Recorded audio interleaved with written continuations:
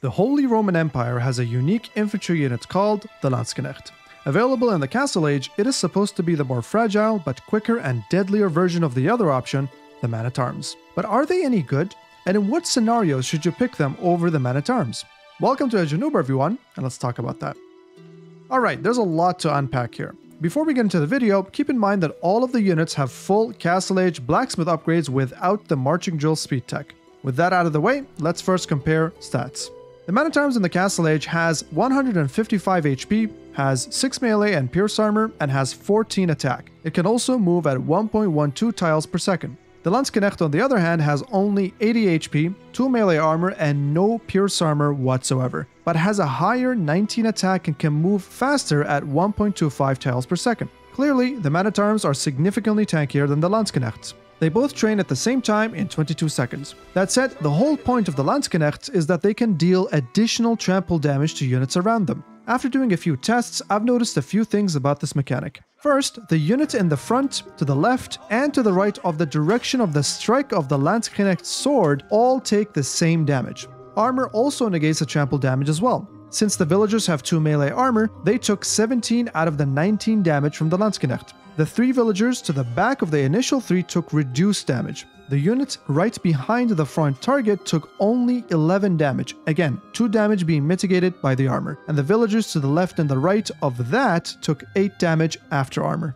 In short, the Landsknechts deal 100% of their damage to the center, left, and right units of the direction of the strike of their sword. They then deal 68% of the damage to the unit right behind the strike, and deal 53% of the damage to the units to the left and right of that. Remember, those were equally spaced out units, but enemy units could be even more tightly packed and squished together due to terrain, pathing, or movement, which can potentially allow Landsknechts to dish out even more damage. Hence, this bonus is really no joke. Take a good engagement with the right angle, and you'll deal a ton of trample damage. Okay, now that we know how the Landsknechts work, let's dive right into the tests.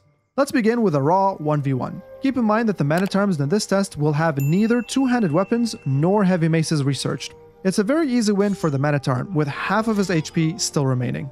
In a 20 vs 20 charge, however, the Landsknechts absolutely obliterate the man-at-arms, with a whopping 17 of them surviving the battle. After seeing this result, I thought I may have skewed it a little bit too far by going 20 versus 20, so I tried a 10 versus 10. 8 Landsknechts still survived in another heavily one-sided skirmish. I tested this all the way down to a 3 versus 3, which seems to be the tipping point, with one Landsknecht barely surviving. Hence, Landsknecht's trample damage bonus seems to properly kick in after 3 or more of them fight in a tightly packed engagement. Split them apart or take fragmented engagements, and you'll watch your Landsknechts fall down one by one.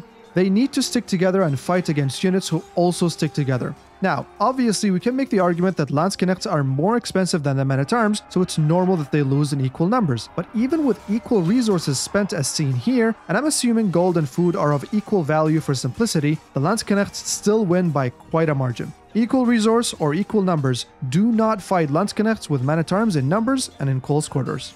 Moving on, the Landsknecht unsurprisingly gets demolished against a knight in a 1v1.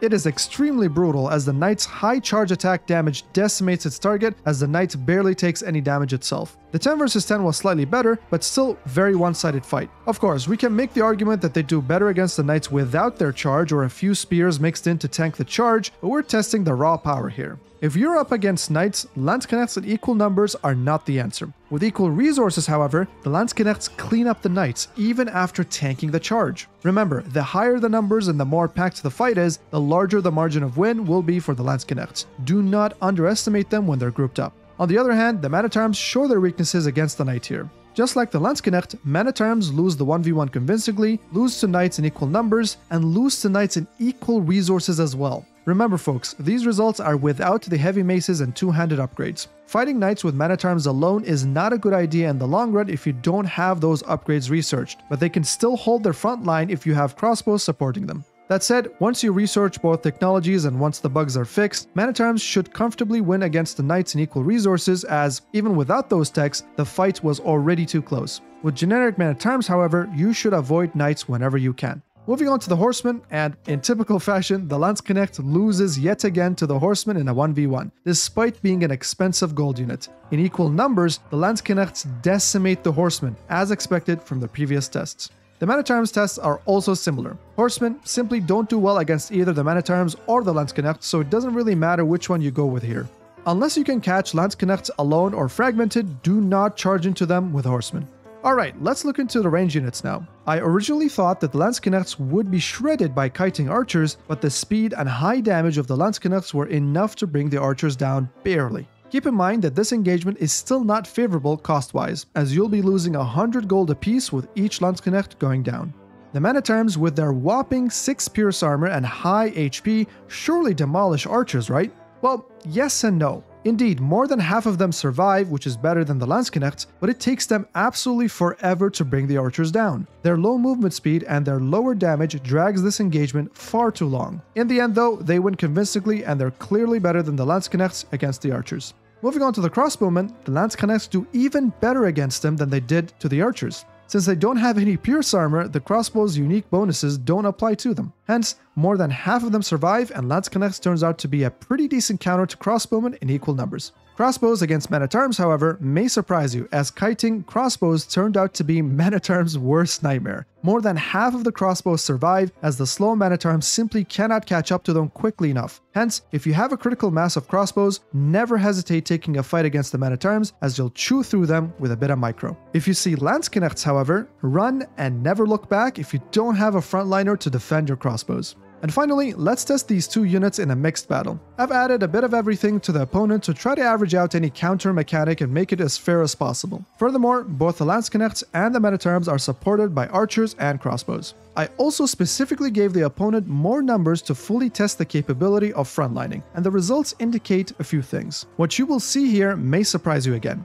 A bit of a repeat happens here from the previous tests. The at do survive much, much longer, but they don't do as much damage, so the overall engagement actually goes much worse for us, as the enemy chews through our range units once all of the at finally fall down. The Landsknechts, on the other hand, do so much damage so quickly that it does not matter that they fall faster. The overall engagement ends up much quicker than the men at arms, but it still turns out better for us. Intuitively, one would think that the Men at Arms' high HP and really high melee and pierce armor would make them excellent frontliners to your range units so they can hold your ground. Turns out, this isn't really the case for most scenarios. You're actually better off with Landsknecht's much higher damage output, which means that you actually should prefer training them in those close packed skirmishes against pretty much any melee unit, even with archers and crossbows behind them. One consolation for the men at arms here is that, although your engagements are worse, they hold on much longer. This means that you should definitely prefer them defensively. Time matters when you're building a landmark or researching something in a building that you need to defend, and Man at Arms can do just that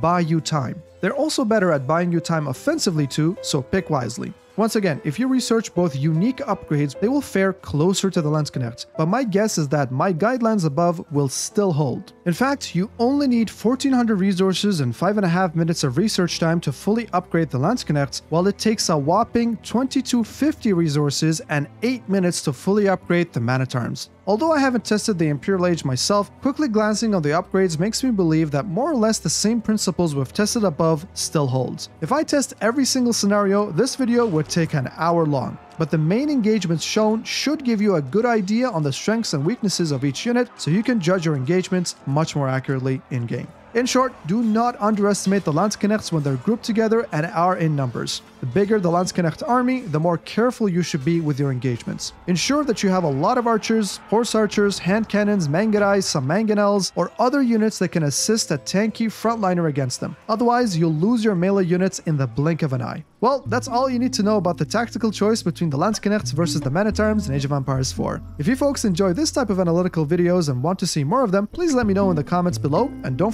forget to subscribe to not miss out on any awesome Age of Empires content. You can also share some ideas of game mechanics that you'd like me to explore, and I can look into them.